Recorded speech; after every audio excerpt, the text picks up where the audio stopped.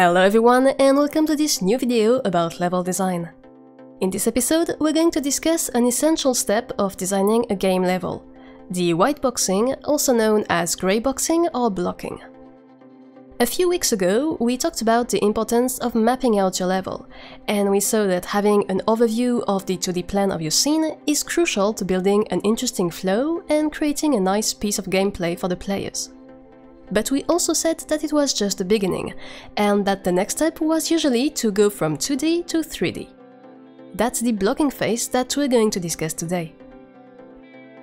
In a nutshell, the whiteboxing stage is about setting up the overall layout of your level by placing large white cubes and platforms instead of the soon-to-be assets, and then playing through this rough sketch with all the game mechanics to get a feel for the final result.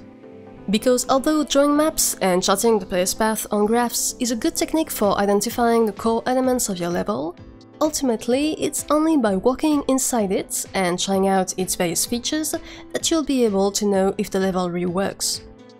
If your game pacing, user interactions, level signature elements, game mechanics, and overall fun are already present with just those big white cubes, then chances are that it will only get better when you replace them with the real assets and the great graphics. Basically, with whiteboxing, the goal is twofold. First, you want to assess the right dimensions for the level. A big part of the blocking phase is to get an idea of how big or small the environment and the props are compared to your player's avatar, and how it all translates into a specific atmosphere. Is this wall too high? Is a crate of this size blocking the view? Is this jump too long? This obviously means the placeholders you use have to be to scale, and then the assets you create to replace them will need to match these sizes, otherwise the whiteboxing step loses a lot of its value. The second objective of whiteboxing is to evaluate the feasibility of gameplay, to check all the mechanics work as intended and that the avatar evolves in the level in a natural way.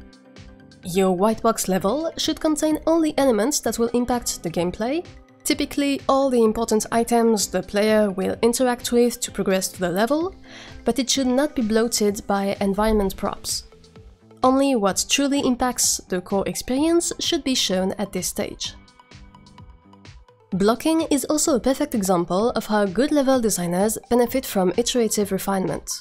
It is very rare to get your level perfect at the first attempt, in most cases, you'll plan something in your head or on your map, then test it out with whiteboxing and discover it has a few quirks and annoying issues. So you'll have to do another design iteration where you refine those specific areas and rework their layout to make them better.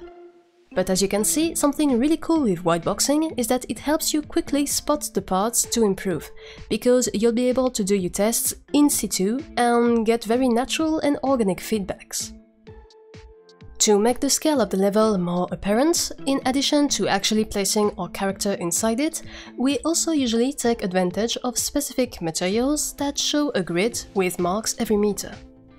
And keep in mind that the point is not to slap ultra-realistic textures on your blocking elements. Ideally, it's better to stick with a neutral visual to be more objective and critical of whether the level feels good or not.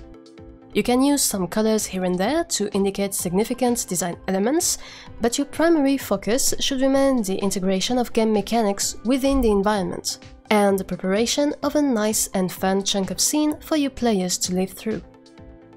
Note that of course, you can have some more polished assets here and there, if they are already ready, for example if they were created before for an other earlier level. But this stage should be the initial step in your level design process, and thus you should not be stuck awaiting for assets. And more importantly, because blocking is key to eliminating non-functional ideas and asset setups early on, it helps avoid useless asset creation and then heartbreaking binning. And with all that said, that's it for today. I hope you enjoyed this quick tips and techniques tutorial about level design and that you now see why whiteboxing is crucial to designing a good level. If you did, feel free to like the video and subscribe to the channel and, of course, don't hesitate to leave a comment with your own ideas for future level design tutorials. As always, thanks a lot for watching, and take care.